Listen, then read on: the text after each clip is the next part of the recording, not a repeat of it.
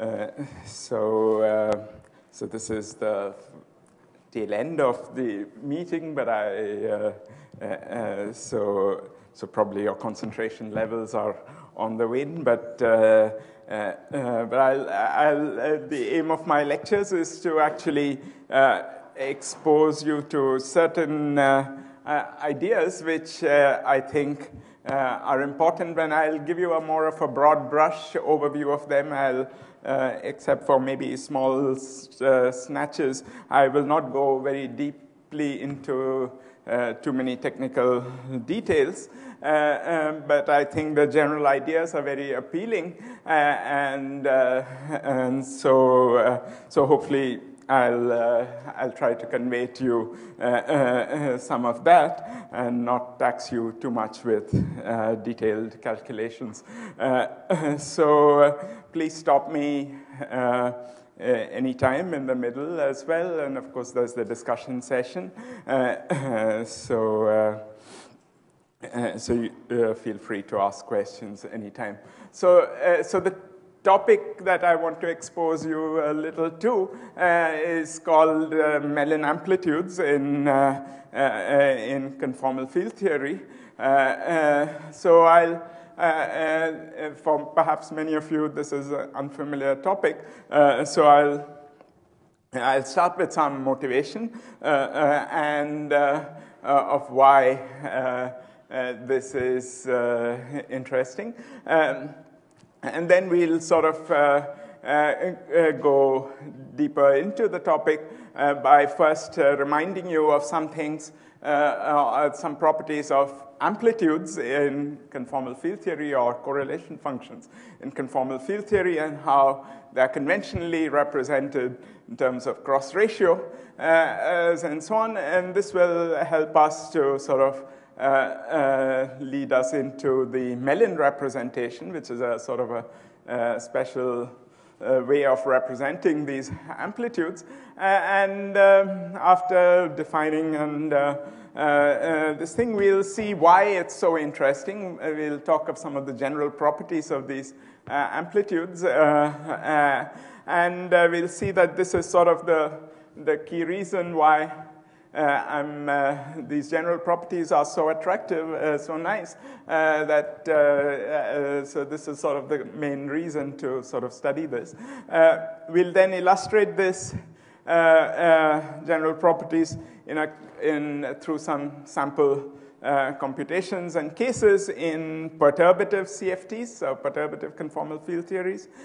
so in a sense, in a weak coupling expansion. Uh, uh, and uh, and finally, some computations in the opposite regime of if you wish, strong coupling, where they, whereas the CFTs have a representation in terms of uh, uh, amplitudes in anti de Sitter gravity uh, theories. so, and then finally, sort of summarize with some outlook.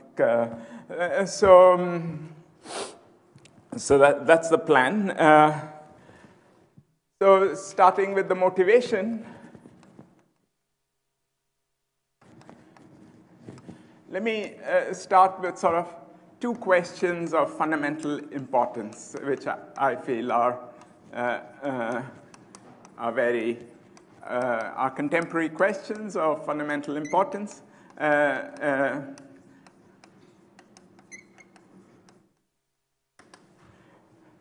So the first is, uh, the first you can phrase as are all large N CFTs, conformal field theories, uh, uh, satisfying some conditions, which I can specify maybe later, uh, uh, some, uh, some conditions, the small print. Um, are they identical to perturbative string theory. So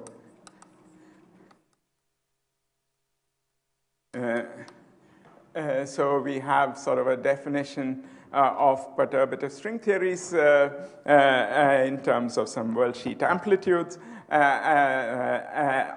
is are large N CFTs dual to sort of perturbative string theories on ADS, on anti uh, uh, space-times, uh, because they would have to have the same isometries. so, so, so this is a question I think many people believe the answer is yes, that if provided these conditions are sort of more sharply defined, um, would be consistent, uh, uh, consistent unitary large N CFTs uh, would, would be dual to perturbative string theories on ADS. so that's one question that I think many people are interested in, and certainly something that I find uh, uh, very important to answer. Uh, mm, the second question is seemingly unrelated. Uh, uh, can we find um, sort of uh, efficient analytic techniques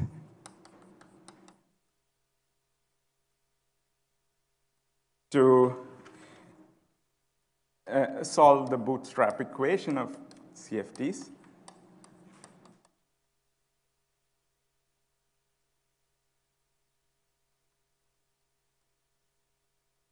So you've had already a course from Slava Rychkov about CFT's uh, general properties and in particular about the amazing progress that has been made on uh, uh, understanding properties of uh, CFTs in higher than two dimensions using these bootstrap techniques. Uh, a large number of the results, most of the results in this topic have been uh, numerical results getting bounds uh, uh, uh, on dimensions and OP coefficients and so on. But, but in a sense, the uh, results demonstrate the power of the bootstrap equation already that uh, using such a sort of a um, uh, crude hammer, you can already get, get a number of very interesting results. So there are, is there a right, right language or a right approach to try to make progress analytically uh, and go beyond uh, sort of the numerical results, which uh, of course you can sort of push further ahead, uh, but uh, it's always a sort of a, uh, it, it's not going to ultimately help you to fully solve the theory. Um, so, um, so these two questions, uh, uh, which um, look quite different, but uh, uh, uh perhaps there are even relations between them. But, um, but these two questions, I believe, can be addressed in these are this is an example of two questions that can be addressed using this sort of Mellin representation of CFT amplitudes. Uh, and um, uh, uh, so though I will not, I, I, will not go very much into, I mean, I won't be able to tell you how to solve these questions. Of course, these are, uh, uh, the, these are outstanding questions. Uh, but I'll try to indicate along the way as we go how we might be able to make headway into some of these questions using this representation of uh, CFT amplitudes. Um, so uh, this Mellin representation, uh, which I'll define very shortly, uh, um, uh, might appear at first sight to be just a change of variables, and in a sense, it is just a change of variables or a change of basis uh, for writing the CFT results. So it might seem like just a trivial thing. So it might seem like a, a somewhat trivial thing, but, uh, but I think uh, change of variables is not something to be sneezed at. It's something uh, uh that can be very powerful, and let me just give you as, phys, as theoretical physicists, just two examples that uh, all of you are familiar with. Uh, so the first is just in quantum mechanics. I mean, the Uh, uh, the Schrodinger, or more generally the Dirac picture of quantum mechanics, uh, uh, clearly helped to unlock many of the, uh, uh the, the, the, structural properties of quantum mechanics and improved our understanding of quantum mechanics in contrast to the Heisenberg's matrix mechanics, which is equivalent, but it's a more, more cumbersome way of, uh, uh, of viewing it. Uh, another example on a similar vein is uh, about the introduction of the vector potential in electrodynamics, uh, which Maxwell never needed to use for writing down his equation, but we now know that uh, the vector potential is essential for the Uh, uh, for the deeper understanding of the theory, uh, uh, its generalizations, its quantum mechanical manifestation, and so on. So change of variables is not something uh, one should uh, necessarily look down upon. Uh, uh so, so that's so that's something to just keep in mind. Okay, so let me refresh your memory about. Uh, uh, amplitudes or correlators in uh, in CFT and how sort of we conventionally express them in terms of uh, things called cross ratios. Uh, so, um, so in conventional QFT,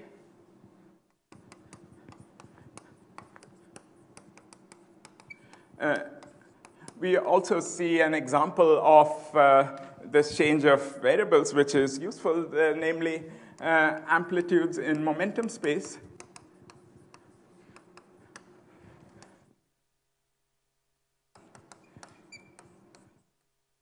Uh, uh, are uh, amplitudes in momentum space uh, are, are, what we use most of the time as opposed to position space.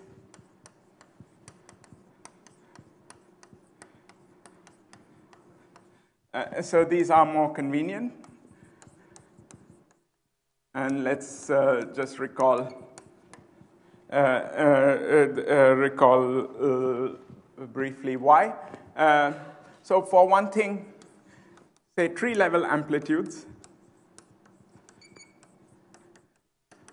So if you are doing a perturbative expansion uh, and you, you're considering some arbitrary tree diagram. It could be some n-point function, but uh, a classical uh, tree level amplitude. in momentum space, in momentum space are given just by products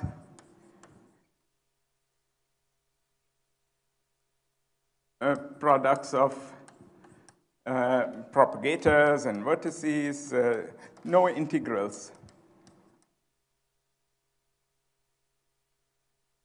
So, so we don't need to carry out any integrals. The expression is just algebraic and uh, uh, multiplying together the things that the Feynman rules tell you. Uh, um, this is as opposed to position space, uh, um, uh, where in position space we have a kernel uh, um, for the two-point function, and you need to uh, uh,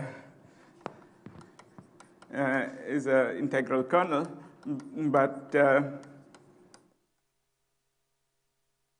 but but the propagator in momentum space is is just algebraic, is just so it's essentially because the equations of motion in momentum space are uh, the quadratic equations of motion reduced to algebraic conditions. Uh, so, so that's uh, uh, one good thing about uh, uh, amplitudes in momentum space. Um, so, but furthermore, more, more deeply, the, the momentum amplitudes have uh, good analytic properties. So as functions of the external momenta uh, have they, they, have very attractive analytic properties, uh, and um, uh, and and these analytic properties have nice physical interpretations. So the poles correspond to stable or unstable particles, uh, uh, single particle states. Uh, there are branch cuts corresponding to, uh, and then there are branch cuts, and they appear very on the real axis, positive real axis typically, uh, and they correspond to multiparticles. Uh, so we, we understand uh, the uh, uh, behavior uh, of these, the analytic behavior in a very nice way. The residues at the pole, residues factorize, on lower point amplitudes. Uh, so uh,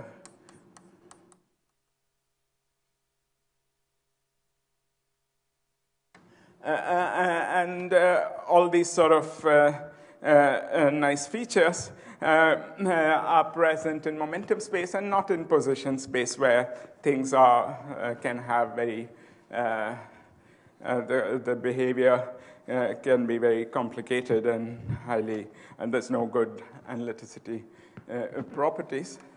Uh, and, uh, and in fact, these uh, analytic properties have a nice translation uh, of various physical um, properties like locality, uh, causality, and unitarity. Uh, uh, so properties like these are very nicely translated into the analytic behavior there. For instance, uh, locality translates to some kind of boundedness uh, uh at the infinity of uh, uh, in moment, some kind of polynomial boundedness if you, at least theories coming from with a finite number of derivatives have uh, have, so, uh, have nice properties. Uh, and the momentum space amplitudes. Similarly, causality is related to the properties under analytic continuation. Unitarity is related, is encoded in various dispersion relations, and so on. So, cutting rules, etc. So, so there are all these very nice properties in momentum space. So that's what makes it uh, uh, the natural language to, uh, uh, to, uh, to adopt. Um, so we can ask, so this is what we do in general conventional quantum field theories. So why can't we do the same in CFTs? Uh, uh, uh, so so CFTs uh, uh, uh, are, of course, special. They have uh, additional symmetries. Uh, and in particular, well, so let's ask first why we can't do, why we uh, don't want, uh, wouldn't want to sort of use momentum space uh, in CFTs. so firstly, non-trivial CFTs, that's interacting CFTs, uh, on, on flat space, if you try to define CFTs on, uh, on, R, uh, on R, they have a continuous spectrum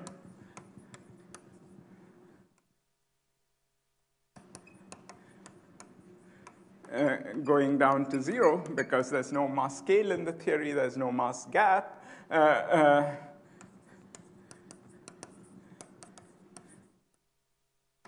Uh, and, uh, uh, and you see this in, so two-point functions.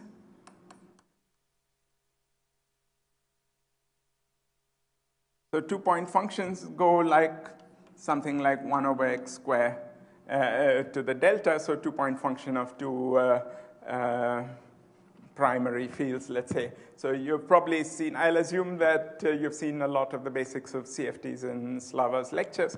Uh, uh, so, so you know that two-point functions behave like this, and if you try to Fourier transform that, it's actually for a general delta, delta need not be an integer uh, in a non-trivial CFT, you get fairly bad analytic behavior. Even very naively, you can see that it sort of would translate on dimensional grounds to something like this, which has branch cut going down to zero. Uh, uh, so this has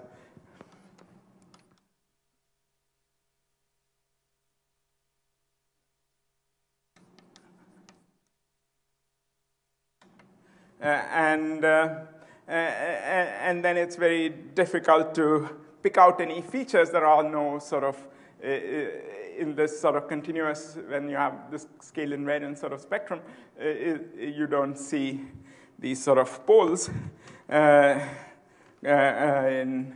in momentum space in any uh, uh, simple way. You instead see these sort of uh, branch cuts. But more seriously, the uh, the special conformal transformations, which are uh, things that part, uh, uh so they, they don't act nicely on momentum space.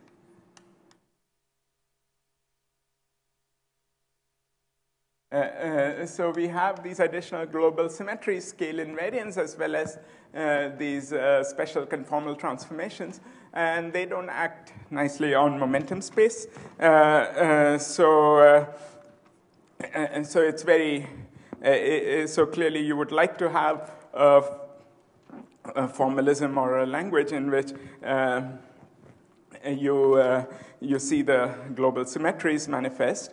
Uh, uh in, for ordinary QFTs, which had just uh, Poincare invariance, that was fine because p square and other uh, invariants were, uh, uh, were Uh, invariant. Uh, uh, so uh, things like pi.pj or Mandelstam invariants were invariant under the global symmetries. But now, when you have these additional symmetries, this is not a good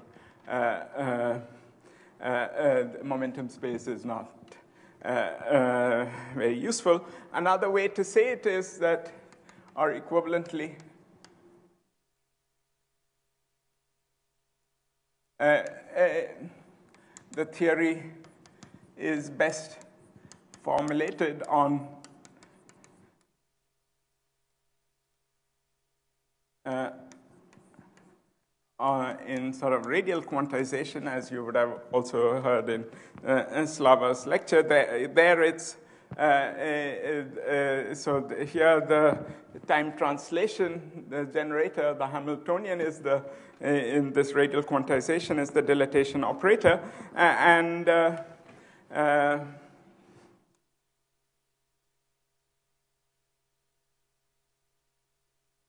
by D, dilatation,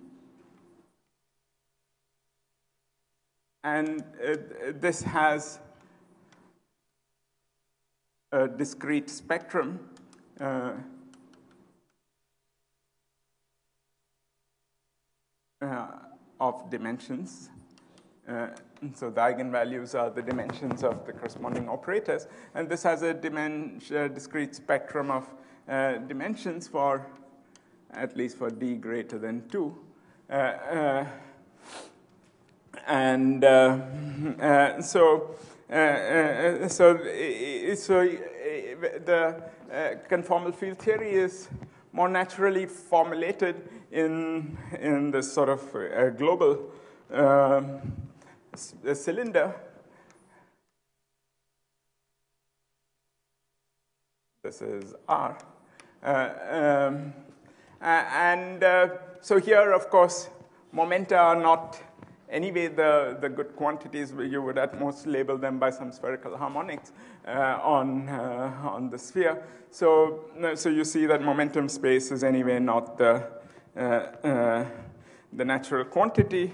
Uh, so that's why in CFTs and in things like um, Slava's lectures, the correlators are uh, uh, are written in position space. So you're back to position space, uh, and you consider some n-point function of of some local operators. Uh, uh, in position space. and uh, then you have all the sort of disadvantages of position space. So you're back uh, there, but uh, um, so the so the question is: Is there another representation?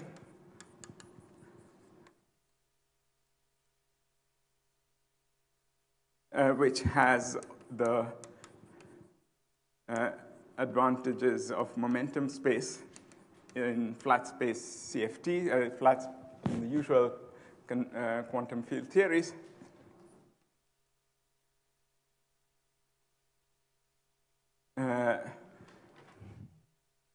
And uh,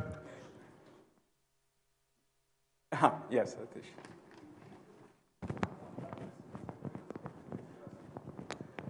Sorry, D equal to 2? Yeah.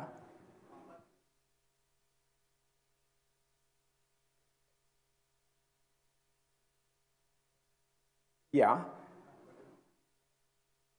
Uh, yeah, in higher dimensions, because essentially this is a sphere with curvature, so that automatically sort of uh, you get a discreteness in the, this thing, whereas uh, on the circle you can have uh, uh, continuous uh, spectrum in, in two dimensions. Uh, so this is the, so the answer is yes.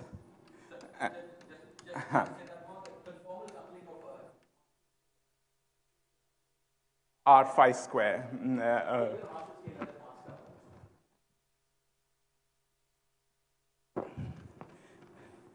uh, uh, so, so that's what uh, the goal of these lectures is to show that Mellin space has uh, these properties. And in fact, it's somewhat surprising that this was proposed by only as recently as 2008 uh, uh, by Mack, uh, who is one of the pioneers of conformal field theories. But uh, so this, the, so this is, this has come quite recently, and I think it's still, which is why it is still relatively unexplored, uh, though there has been uh, there has been se several papers after this, but still, I think the full potential is is yet to be realized. Uh, okay, any questions? Uh,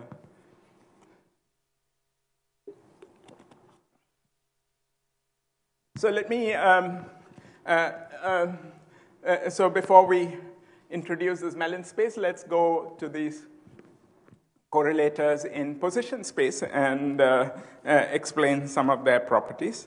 Uh, uh so, uh, so we look at uh, so we'll generally look at conformal field theories, which have, in addition, which have the special conformal transformation symmetry, which I uh, assume all of you ha have seen. But uh, um, they, of course, have scale invariance. And sometimes, I mean, uh, sometimes I'll, it, will be useful uh, uh, to sometimes make a distinction between scale invariance and uh, conformal invariance. Um, conformal invariance is more restrictive, but sometimes I'll, I'll see, I'll, I'll, it will be, I think, illustrative to discuss uh, uh, the constraints imposed by scale invariance and then the additional ones coming from conformal invariance. So I'll just, uh, just to uh, alert you uh, to that, though it may well be that there are no interesting unitary conformal field, uh, no unitary quantum field theories which have scale invariance but are not conformally invariant. No one is almost close to a proof of that, but uh, uh, it's still not completely settled. In any case, uh, just at a formal level, it'll be sometimes useful to make this distinction. Uh, so, uh, so I'll consider mostly amplitudes, which are correlation functions uh, of uh, primary operators. So these are what are called primary operators. And again, you've probably seen this. They are the, uh, uh, uh, they are the, so the, the, the fields or the states in a conformal field theory are labeled by representations which have a sort of a highest weight or lowest weight state, which in, from the point of view of a state, it's annihilated by the special conformal transformations. Uh, uh, and, uh, and, these are the primary operators. They are the ones with lowest dimension. And then you act uh, by derivatives, which are the descendants. Uh, so, uh, so these primary operators are labeled by delta i is the dimension and Li is the spin, spin or the SOD minus uh, uh, SOD uh, quantum numbers. Mm-hmm. but very often for simplicity, I'll will, will restrict to uh, uh, to scalars, external scalars, uh, Li equal to zero. I mean, people have develop the formalism more for external uh, uh, states with spin. It's, it's not complete, but there is, uh, yeah, it, introduces lots of polarization vectors, many things, so I will not uh, uh, go into that. So we'll mostly talk about external scalars. Uh, and very often, I'll focus on uh, on the four-point function, uh, uh, uh, which is, in a sense, the, the first non-trivial uh, correlator in, in the CFT, which, is, which has a non-trivial dependence on the positions. Uh, the three-point functions are essentially determined by numbers. Uh, uh, the two-point function by the dimension. Uh, so, uh, so the two and three point functions have information encoded in a few numbers, uh, but the four point function is the first one, as we'll see, which has uh, uh, information about positions. so, so what can we say about these correlators in a CFT? Uh, firstly, by Poincare invariance, uh, A of xi can only depend on xij square, which is xi minus xj square. Uh, this is the translational invariance, tells you that it can depend only on differences. And rotational invariance tells you it can depend only on uh, uh, I mean, rotation or Lorentz invariance tells you it can only depend on, uh, on the squares. Of course, if there are uh, spins, then there would be external factors which can depend on xi minus xj to with various tensor indices corresponding to these spins, but those will be some sort of overall factors, and as I said, I'll not mostly consider those. Uh, so we'll consider something that depends uh, only on, uh, on these xij square. Uh, now, scale invariance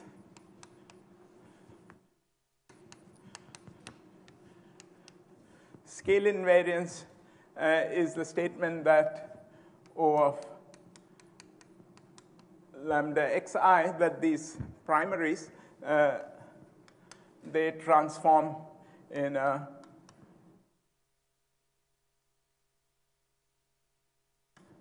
a homogeneous way under the scaling uh, uh, with uh, the dimension being the power, of the homogeneity. so, um, so under this, so xij square, of course, we go to lambda square xij square. Uh, uh, so things can't depend purely on xij square. Uh, so a of xi. Uh, so first, okay, so, uh, so a of, so the amplitude, if you scale up all the coordinates, is because each of the individual ones uh, scales this way, uh, the amplitude scales as uh, uh, uh as just uh, sum of all the powers of um, so it just comes out as an overall factor like that.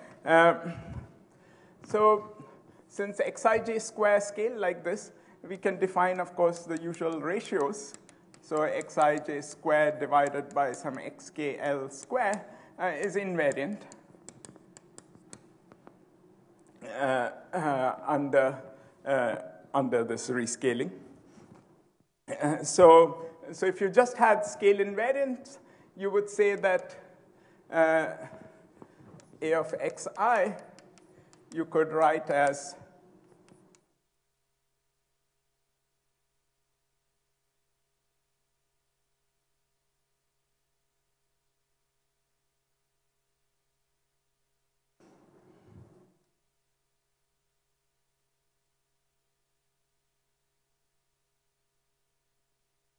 uh, you could write as, uh, you could take out, so of course it depends on, uh, on these. So you, you, you, you take out a factor of these xij square raised to some powers, uh, delta ij, where uh, uh, delta ij are chosen such that sum over i and j. These are, of course, symmetric. Uh, uh, uh, so I could, I should really write i less than j. But in any case, uh, uh, I guess this twice this uh, is equal to delta i because we know that each of the xij square transform like this. So this whole factor transforms uh, as uh, uh, Uh, uh, with a factor of lambda to this power. Uh, so you can you choose the delta ij to such that such that this is equal to the sum over the delta i's because you're, you're writing it in terms of that times a reduced amplitude, which depends only on ratios. So Rij are independent set of independent ratios. Uh, and uh, uh, uh so uh, we can take them to be uh, example. So the Rij are a set of independent ratios, which you can take to be, for instance, xij squared divided by, say, x12 square. and where i j is not equal to uh, 1, 2. So you take these ratios. These are all independent because you can make any other ratio uh, uh, from these. So, so it's easy to count how many of them are there. Basically, the xij's, there are n into n minus 1 by 2 of them. Uh, and, uh, uh, but you're not including the 1, 2. So there are, so, so there are n into n minus 1 by 2 minus 1 of these ratios. So, so in terms of uh, some, uh, so you have some freedom in choosing what these ratios are. Uh, so you uh, uh, choose them to be anything uh, which is convenient to you like this. you can write the whole amplitude as a function of these ratios times an overall factor, where here these delta ij's Uh, also, you have some freedom, so some arbitrariness is there. So the arbitrariness in the choice, because these delta ij's, again, there are essentially n into n minus 1 by two of them, uh, and you are just imposing one condition. So there's some, uh, there's a lot of arbitrariness in the choice. Sorry, this is below people's horizon. Uh, I'll, uh, I'll, I'll, try not to write over here. So, uh, so this arbitrariness in this choice uh, um, is just, can be absorbed into your A tilde because the, if you, if you choose a different set of delta ij's but also satisfying this, uh, the difference will be just appearing in terms of some, uh, it just involves changing the function a tilde. So that's quite trivial. So this is what scale invariance tells you.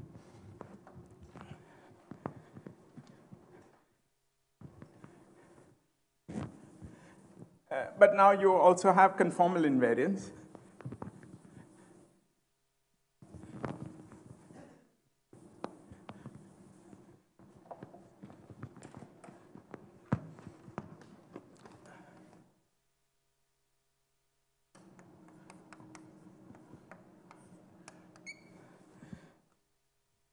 Uh, um, or special conformal invariance. Uh, I'll take a shortcut uh, in talking about the special conformal invariance uh, by using the fact that very often the special conformal invariance uh, uh comes from uh, the presence uh, of an inversion symmetry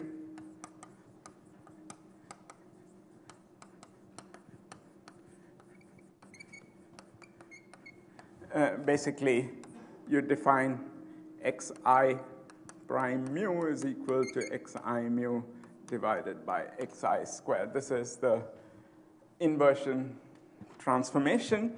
Uh, uh, uh and uh, the special conformal invariance, the k mu generator, if you wish, can be viewed as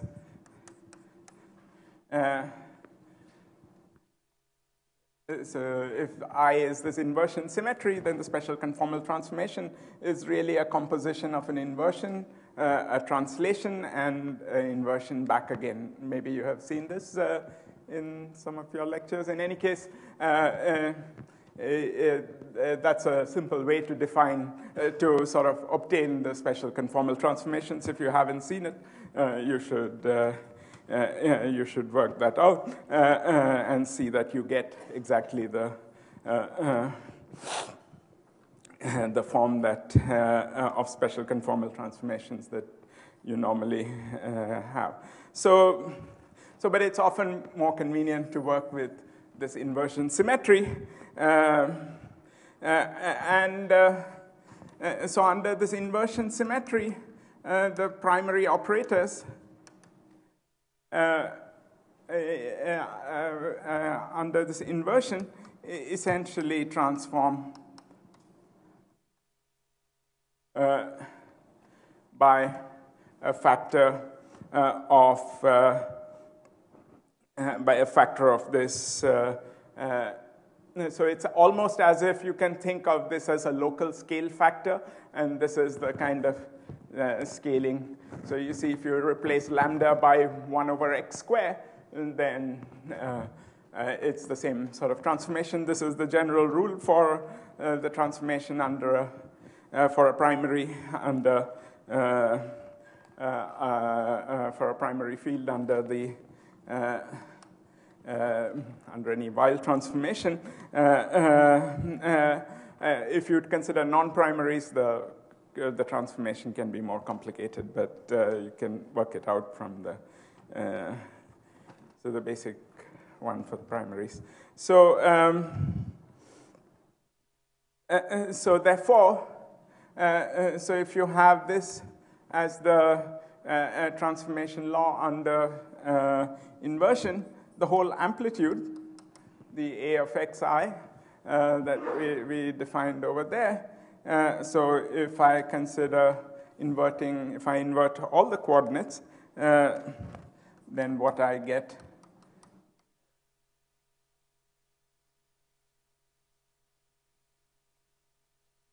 is um, a factor of xi squared to the power delta i uh, uh, uh, for each i. Mm, so if our uh, uh, for the n-point function, I get an overall factor like this, which depends on the individual x's. Uh, so this is a more constraining condition on the form of the a more constraining condition on the form of the uh, uh, correlator. What does it uh, do for us? Uh,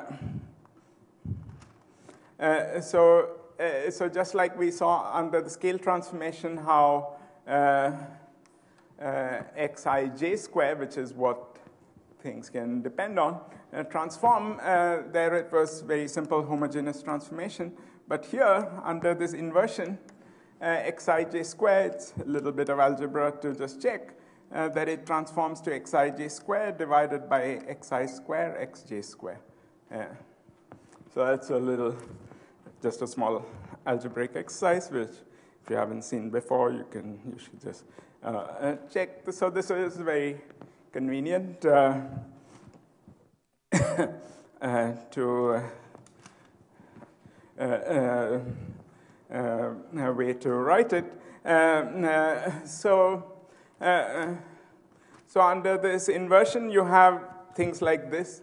Uh, this transformation uh, transforms like this. So clearly ratios, which were scale invariant like this one, are not necessarily, are not in general invariant uh, under this uh, uh, transformation. So you can ask, whenever you have a symmetry, it's useful to write down the things which are invariant under the symmetry. So you want to construct things uh, which are invariant. And so these are the so-called the cross ratios, which are not just ratios, but uh, so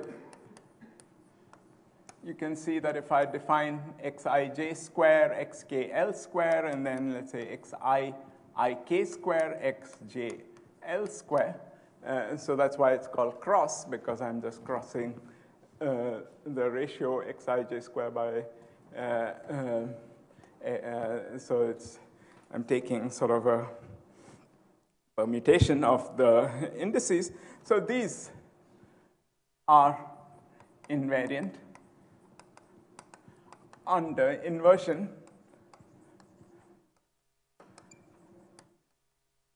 That's almost obvious, right? Because xij square will pick up a factor of xi square, xj square and the denominator xkl square will pick up a xk square xl square. And here you see you have the same indices i, k, j, l. Uh, so you'll pick up the same factor uh, the downstairs as well. So they'll cancel, and so the whole thing is invariant. Right? So, uh, uh so this is invariant under inversion, and therefore uh, uh, special conformal transformations. Uh, so, so the, uh, things must depend, uh, uh, apart from an overall factor, now on not these cross ratios, but uh, now not on ratios, but on these cross ratios. Uh, so how many such cross ratios are there? for an n-point function, there are n into n minus 3 by 2. So let's quickly prove that. I mean, it's it's something that's uh, often stated, but it's very simple to, uh, to, uh, to just show this uh, uh, number. So you see there are fewer than the ratios. The ratios there by n into n minus 1 by 2 minus 1. Uh, so there are n into n minus 3 by 2 independent cross ratios for n endpoints.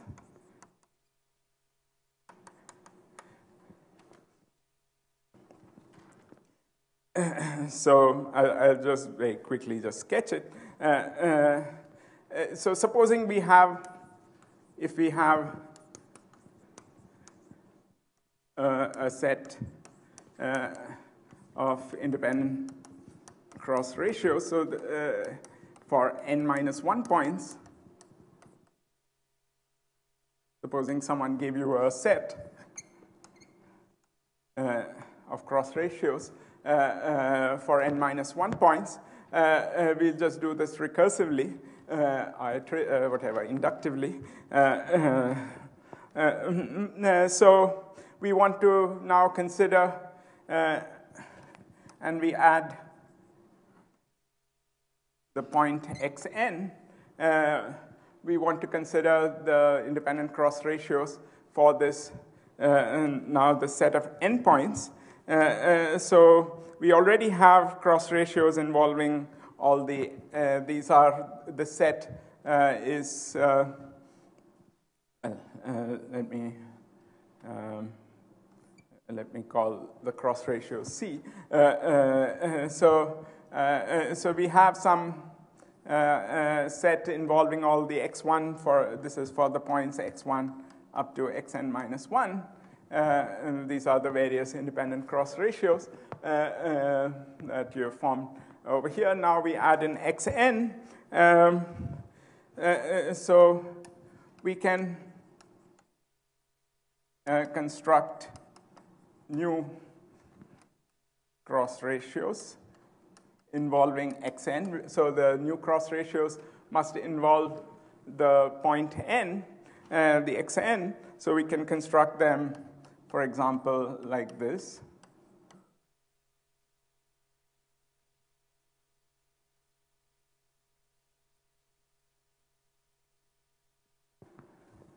Uh, so I, where A is goes from 3 up to n minus 1.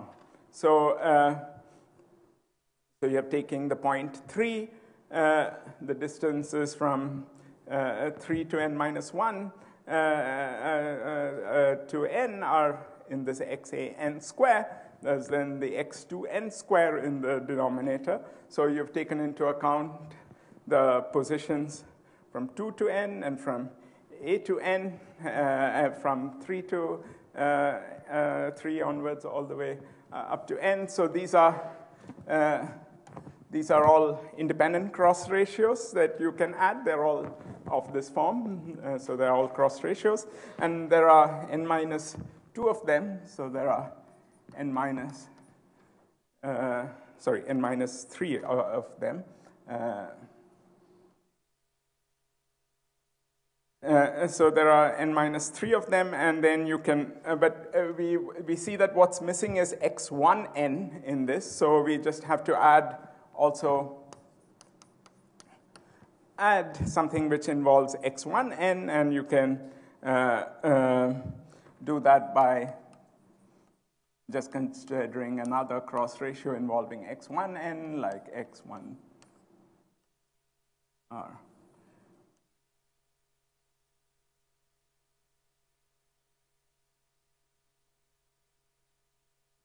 uh, something like that. Uh, so you have involved X1N as well. and so, so you built independent cross ratios involving all the, the new set of xn's and how many of them are there. You've added n minus 2 of them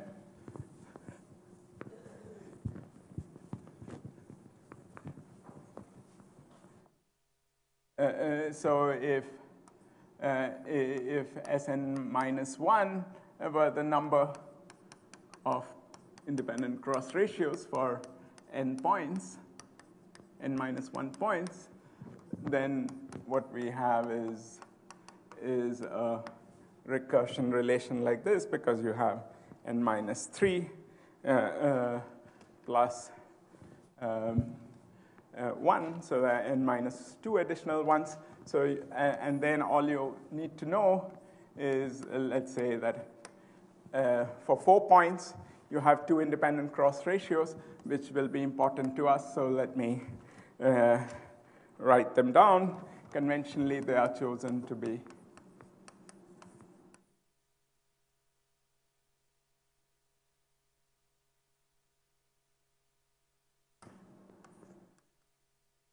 U and V, which is, I hope I'm keeping to the same convention as was used in the Bootstrap lectures.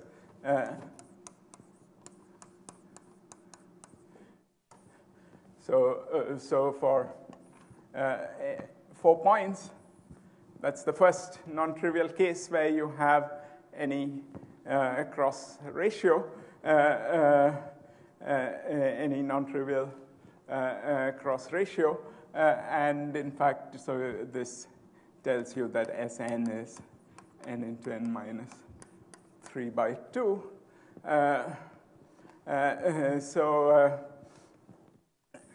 so we have all these cross ratios, which are fewer in number than what a general theory uh, could depend on. So, so coming back to our question of what is an amplitude that will uh, satisfy this, we can write that A of xi is of the form like before, xij square to some power delta ij times a reduced amplitude, which depend only on these cross ratios, Cn's. Uh, Cn's are the set of all these. Um, so, uh, so these are all the set of cross ratios, independent cross ratios, uh, uh, uh which we wrote down over here. Um, um and so we, we, we write it in a similar form like over here, except that we, again, have this delta ij's, uh, this overall factor, which must take into account this covariance of the transformation. So the amplitude is not invariant. If it were invariant, we would write it, build it purely out of the cross ratios, but it's covariant. And, uh, and to take into account the covariance, uh, uh, we have this additional factor. Uh, and using the fact that xij square transform under inversion in this way, we have delta ij chosen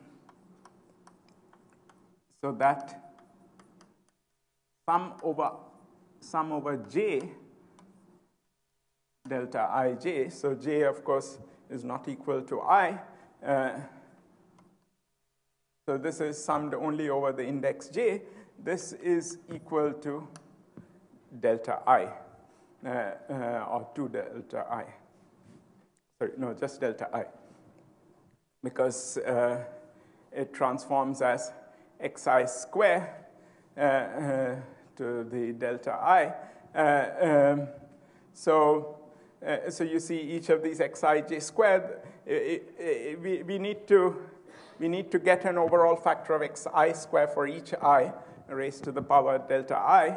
Um, and uh, um, uh, uh, so, so each of these xi, so all the ones which have an i in them will get a factor of xi square raised to the power, the corresponding delta ij. So you sum over all the j's and that total power should be equal to delta i. So these are n constraints. So these are for each i equal to 1 to n. So now the delta ij are more restrictive, uh, uh, but, uh, uh, but there's some arbitrariness again,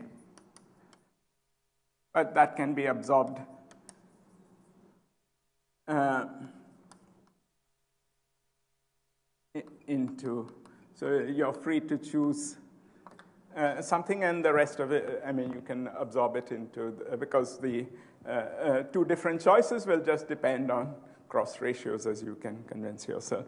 Uh, uh, so, so you can choose a canonical set of the delta ij's such that they obey this, these conditions, but nothing else. so there are only n conditions on the n into n minus 1 by 2 delta ij's. Uh, so you, you have uh, uh, quite a lot of freedom, and uh, uh, you choose it in a way that uh, this is satisfied, and then everything depends only on this reduced amplitude. So it's a much bigger simplification compared to a uh, compared to a general Poincare invariant theory because everything is now essentially in this function which depends on far fewer variables than uh, uh, you would have expected in a general uh, Poincare invariant field theory where things could depend on n into n minus 1 by 2 of these uh, xij squares. Uh, but things here depend only on n into n minus the function that depends only on n into n minus 3 by 2 variables. So, so for example, n equal to, so that's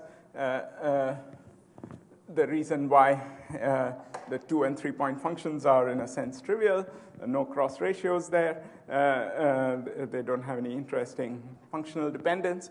Uh, uh, for, um, four, for four points, you have one function of uh, four point function depends non-trivially on these two variables, u and v, and whereas a general four point function would have depended on 4 into 3 by 2, 6 variables, but here it's just two variables, so it's a vast simplification. Uh, uh, uh, in a scale invariant theory, it would have still depended on five variables. So special conformal invariance really gets you quite a lot of mileage. Uh, you have things which depend on much fewer uh, uh, variables. Any questions?